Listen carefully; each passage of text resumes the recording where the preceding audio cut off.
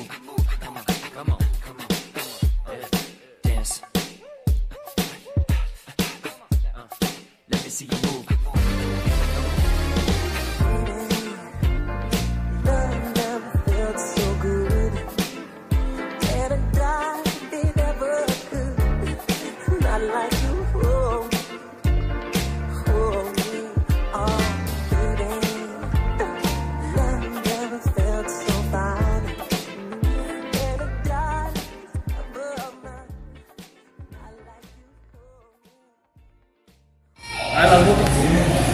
Hola, ¿qué tal? Seguimos eh, desde el Foro 360 en Naucalpan, Estado de México. Es la segunda parte del especial en memoria de Michael Jackson por su séptimo aniversario luctuoso. Hace un momento eh, una plática muy, muy amena, muy agradable como siempre con, con Stefan Jackson. Y ahora me encuentro en otro de los camerinos de este lugar. Estamos vagando por todo el foro, conociéndolo también, un foro espectacular, la verdad. Y bueno, en esta ocasión me encuentro con el cuerpo de bailarines de este show. Saluden chicos. Veo y este, bueno, primero que nada, muchas gracias por, por eh, interrumpirlos tantito ya en su caracterización, en su preparación. Y estamos a unos minutos de, de entrar, ¿no? O bueno, estamos, están, unos minutos de entrar es- al escenario.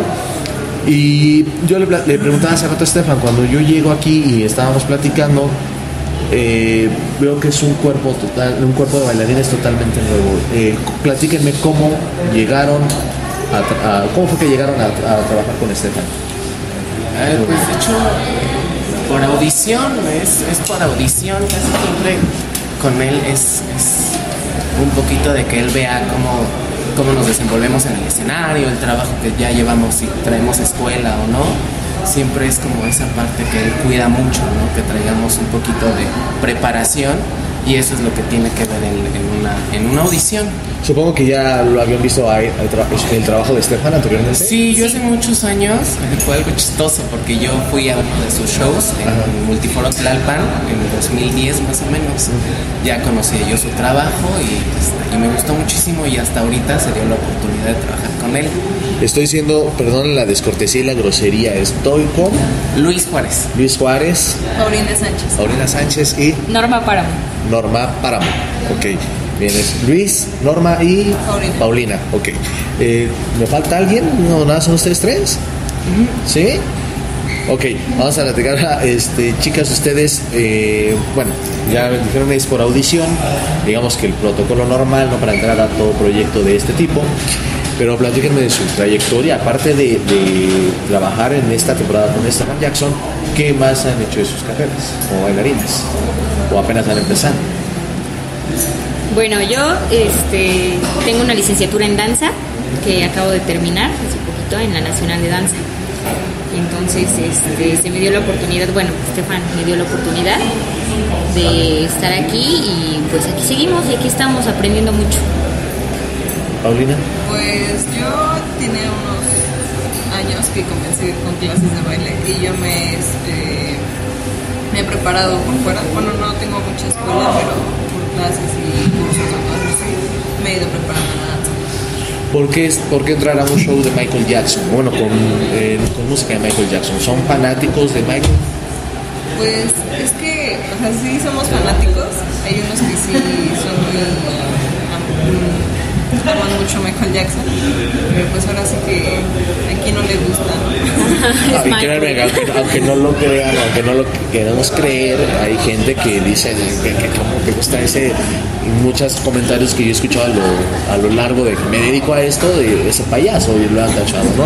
Digo, obviamente no, creo que nunca va algo o alguien va a estar en el gusto del 100% de la población.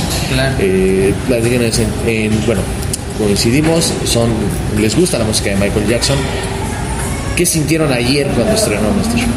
Una adrenalina muy cañón. increíble.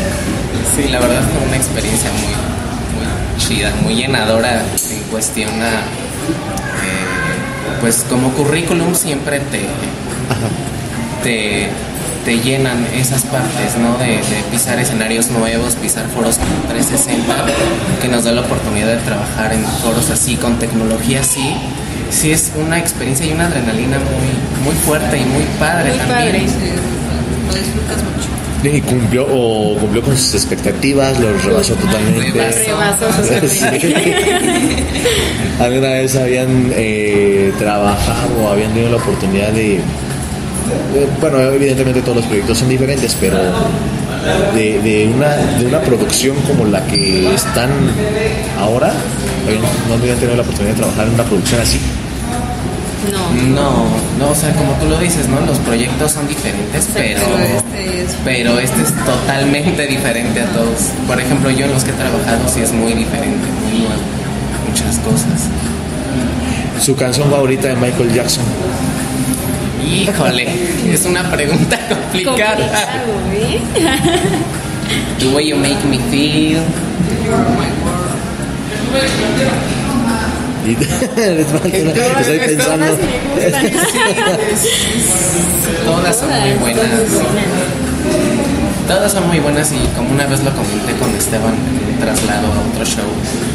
O sea, lo padre de Michael Jackson es que eh, independientemente de que haya sido o haya nacido ese artista en otras generaciones, sus canciones actualmente no suenan como muchas otras que No suena muy ochentero, ¿no? Como- Exactamente.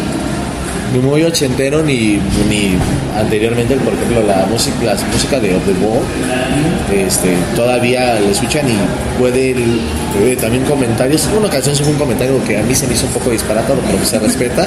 Que no, no recuerdo qué canción de ese disco que se escucha un poco a reggae. No, no entiendo por qué, pero, pero repito, ¿no? Y dicen, el tipo sigue moviendo a gente a pesar de ya siete años de que, de que no está. lo que hemos estado platicando últimamente, que cómo es que luego los niños se emocionan tanto con Michael Jackson, música, o con Que la conocen este, también. Ajá, y que sí lo conocen y lo siguen, mucho. ¿A qué creen que se deba ese ese um, ese gusto por las nuevas generaciones de un artista que murió hace cinco años? Ahorita le preguntas a un niño de 15 años, ¿le gusta Michael Jackson? Te dice sí. ¿Por qué creen ustedes que está llegando todavía a nuevas generaciones esta música? Yo digo que por la calidad de artista, ¿no? Porque actualmente, seamos sinceros, o sea, sí hay artistas buenos, pero ya no con esa capacidad Calidad. y calidad y complejidad, porque muchos hay veces que ya eh, consiguen quien les escriba las canciones, quien les haga los arreglos musicales, y Michael Jackson estaba inmiscuido en todo eso. Michael Jackson veía toda esta parte de producción, parte de, de música, de las letras, de todo, todo, todo, todo. Entonces yo creo que es eso. Viene ahorita para eh, dejar que se apuren. Bueno, yo voy a continuar así, que se apuren porque, bueno, a mí todavía nos, todavía nos queda 20 minutos, pero a ustedes no, porque tienen que, apurarse. Eh, solamente, eh, ¿creen ustedes, y es la misma pregunta que le hice a Estefan hace, hace rato, el día de hoy, 25 de junio, lejos de ser un aniversario luctuoso y lo que significa un aniversario luctuoso que muchos es algo, ¿cómo decirlo?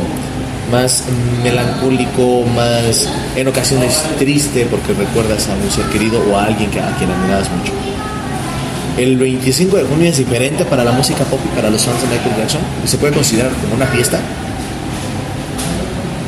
Sí. Perdón, dije 25 de diciembre, no, 25 de 25 junio. de sí, junio. ah, 25 de diciembre, sí. El 25 de Feliz Navidad, sí, sí, sí, ah, perdón, que ya, ya ya es que llegue la, que llegue la Navidad, no, que, no, 25 de junio es, este, se puede considerar como una fiesta, ya se están burlando de mí acá.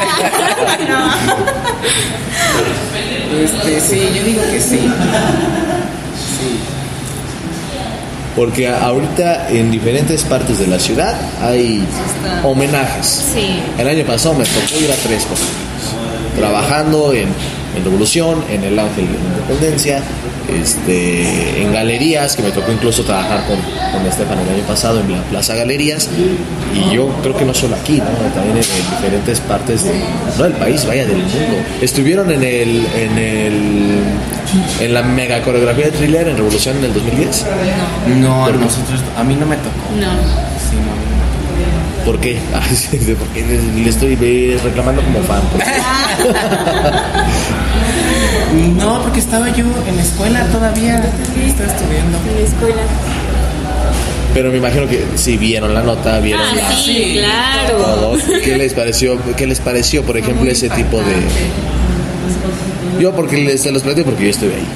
Yo sí estuve ahí, sí lo digo, Pues. caracterizado. Fui y todo de lo más sencillo, ¿eh? Y había gente que incluso vestuarios similares, por ejemplo, a los que ust- ustedes utilizan o a los que utiliza Stephanie, me, me sorprendió porque si era si yo me considero fan, no, yo estoy en pañales, si soy fan. Hay gente que, que hoy, bueno, en día en redes sociales ves que venden artículos originales, yo me imagino que ya en la desesperación económica, pero te venden los LPs, te venden este, cosas invaluables. Yo recuerdo mucho con de un, me platicó un amigo que es bailarín, por cierto, me platica que cuando muere Michael Jackson en el 2009, su maestro de hip hop les dijo, el día de mañana traigan un sombrero, vamos a hacer un homenaje a Michael.